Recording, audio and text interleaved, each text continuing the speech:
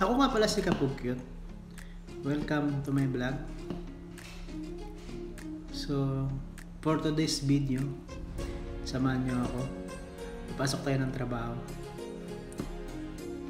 At naglalakad na tayo at nagpapakyut sa opisina. So, mag-almusal muna tayo. At itong almusal natin, tinapay, saka may yogurt. At nagpaluto tayo ng itlog kay Chef. Shout out sa iyo, Chef. Ang bilis naman ang siyang pagkaluto ni Chef. Ayan, papalaman natin sa tinapay. Egg na may dahon ng sibuyas. At ito, yung cafeteria namin, mayroong mga prutas, may melon, may apple, at may pakwan. So ito yung kakainin natin mga kapugyot. Overload yung breakfast natin. May saging, may pipino, kamatis, at saka yogurt, oatmeal, saka saging. So, umpisa na tayo ng trabaho. Kasama natin si supervisor. Ayan, nakasunod tayo at daladala na natin ang mahiwagang gamit natin. So ito yung gagawin natin, yung motor na isa. Hindi na gumagana yung nagsusupply ng tubig papunta sa atin. Dahil stuck up yung NRB niya at binaklas na nga natin. At ito nililinisan natin. Nilagyan ng WD-40 dahil na-stuck up na sa kalawang. At nagpa, nagtitrip na yung motor natin. So sana umubra yung gagawin natin. At pagkatapos ng linisan ito, kinabit na natin yung mga tornilyo at binalik na natin. Kasi okay na. Bumabalik na yung NRB niya pag tinutulak natin. Bali supply pa pala yan ng ano ng papuntang hotel natin mga kapukyot. So at ayan gumagana na yung pump number 2. Yung inayos natin mga kapukyot at hindi na rin siya nagtitrip. Kasi kahapon nagtitripping siya.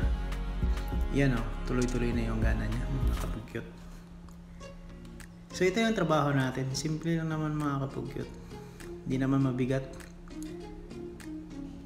At tinulungan natin yung plumber na magpalit ng angle bulb sa kitchen. Marami kasi yung papalitan, ani mga kapugyot. So nagtulong na tayo at maglagay ng tiplon.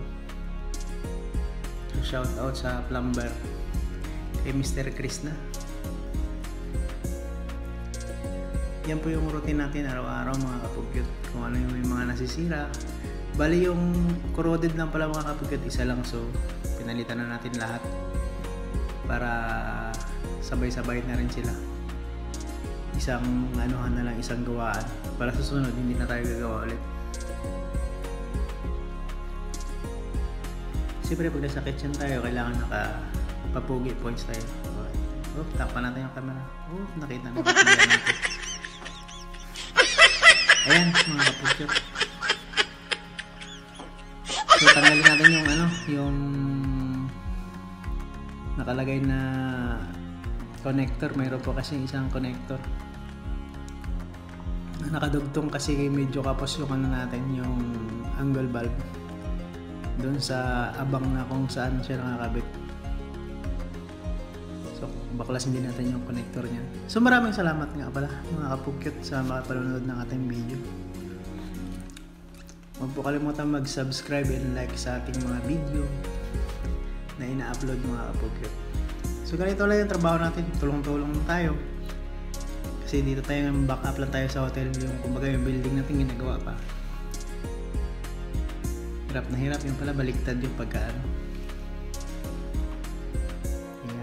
Tama pala yan. So thanks for watching mga kapugyot. At ito yung a my life for to this video. Salamat! Love na kita. Oink oink.